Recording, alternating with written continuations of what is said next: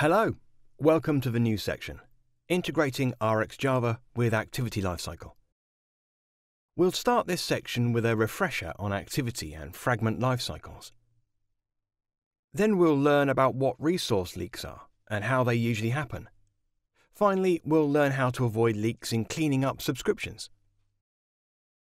Now we move on to the first video of the section, Android Activity Lifecycle.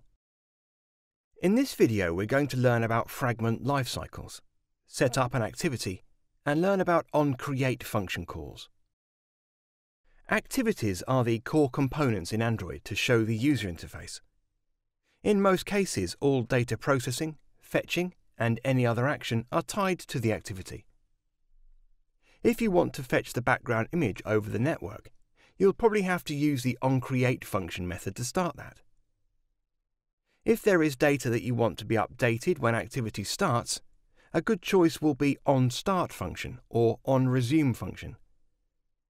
There are multiple lifecycle methods, and in one of those, an observable will have to be put along with the subscriptions. Most of us will be familiar thoroughly with Android Lifecycle. However, it's always useful to review this as it's a super important thing. The Android activity lifecycle describes an order and conditions on which the special methods like onCreate function, onStart function, onResume function, onPause function, onStop function, onDestroy function are called. Developers have to override them so that their code can get called at the points in the lifecycle specific to an activity. This figure shows the full lifecycle of the activity. At first, the activity gets created and onCreate function is called. Then, the activity gets started with the onStart function call. After it's started, it usually receives focus and onResume function is called. Obviously, onPause function, onStop function, and onDestroy function are called at their respective times according to the flow mentioned before. It's worth noting that an activity that is stopped is not necessarily immediately destroyed. We'll now learn about fragment life cycles. Activities can contain fragments, that is, self-contained units that contain views, and they have a life cycle of their own.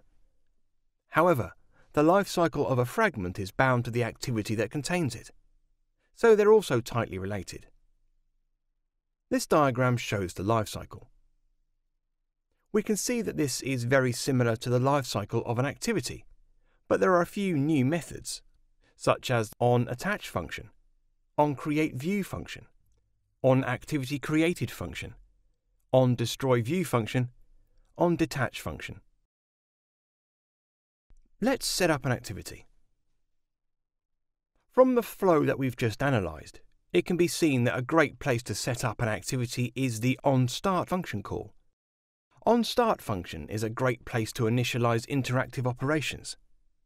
It can be a good place to start an observable subscription where the data is fetched. The logic is that onStop function will be called if a system dialog is shown, and at this moment there is no need to keep data updated because the user doesn't see it anyway. However, when the dialog is closed, onStart function is called again and the data update resumes. In our case, particularly, we might want to keep it in on create function because we still want to keep the UI updated with the newest stock data in the background so that we have fresh info at the moment we resume the activity, even if we are briefly distracted with some kind of dialogue. Finally, on resume function is called when the activity gets focus before 7.0, it was almost always the case that after the onStart function is called, the onResume function is called immediately. And after onPause function is called, the onStop function will follow. This didn't only happen in cases where the new dialog or activity didn't completely hide the previous activity. In this case, the onPause function will be called in the parent activity, but not on onStop function, because it is partly visible, as shown in this diagram. In Android 7.0, it's possible to have multiple activities and applications running side by side. In such cases, when an activity loses focus, onPause function will be called, but onStop function won't. There are certain things that we should know about onCreate function calls. At first, it might look that onCreate function is very straightforward. It gets called only once when an activity gets created. However, the tricky bit is that an activity can get destroyed and created, not just when it's actually started, with startActivity function. An activity will also be destroyed and created when a device is rotated so that the orientation changes from landscape to portrait or vice versa, or when a system language changes. Also, if on Android 7.0, in multiple activity or application configurations, an activity space is resized.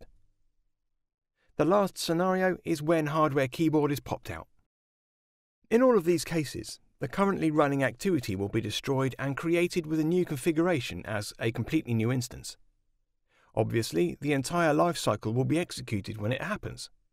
So the onPause function, onStop function, onDestroy function, onCreate function, onStart function, and finally onResume function will be called. That's all in this video. Here we learned the basics of Android Activity Lifecycle.